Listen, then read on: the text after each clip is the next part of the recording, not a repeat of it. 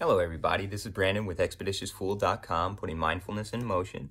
And here we are with the Lightworkers card pull, and today we've got the Four of Pentacles. What this says is we need to be paying attention to our energy exchange, folks. Um, as you can see here, he's he's giving out coins. There's all these hands out. That's great. That's that's wonderful. But you can see he has his balance scale, which means he's he's weighing out.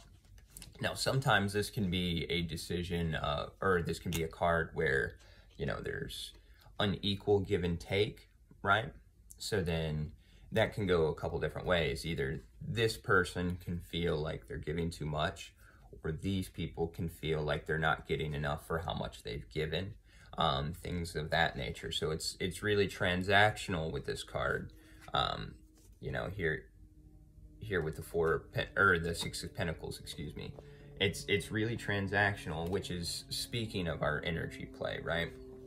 Because we can we can hide, you know, a lot of things in in the Maya and details and this works, that works. Um, this is why this is breaking down. This is why this is and we fill it up with these details and words and everything, but essentially it's energy at play.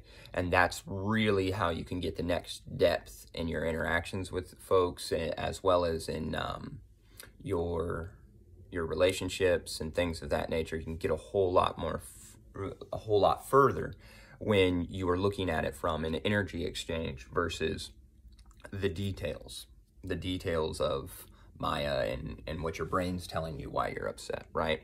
Because a lot of times that, that'll just confuse us from the original energy and then we're left and we're like, I don't know why we can't fix this. Yeah, I don't know why we don't understand each other. Um, and it's because you're not looking at it from the energy exchange level. What I mean by that is, you know, what what feelings, what what vibe comes that's better than feelings, what vibe comes from whatever actions are going around. Like when you you boil them down, right? Um, so in this this case here, you know, it's telling you to be mindful of that. So it's telling you to be mindful of using your energy in a way that you would feel depleted. It's telling you to be mindful of depleting someone else's energy right? And that's what we're talking about is, you know, if somebody brings a problem to you, where did this go wrong energetically? Not necessarily the details. What are they really, what's here? What are they saying, right? And then on the same time, when we feel offended, what's here? Why are we offended? Not these details, not these words that we'll create. Here, why are we offended, right? And when we start to analyze those energy transactions, that's when we can take it to the next level. So thank y'all so much for watching. If y'all want to schedule a session with me, go ahead and DM. We'll get you scheduled as soon as possible. Thank y'all so much for, for tuning in each and every day. Thank you for donating. Donation links are down below. I greatly appreciate it.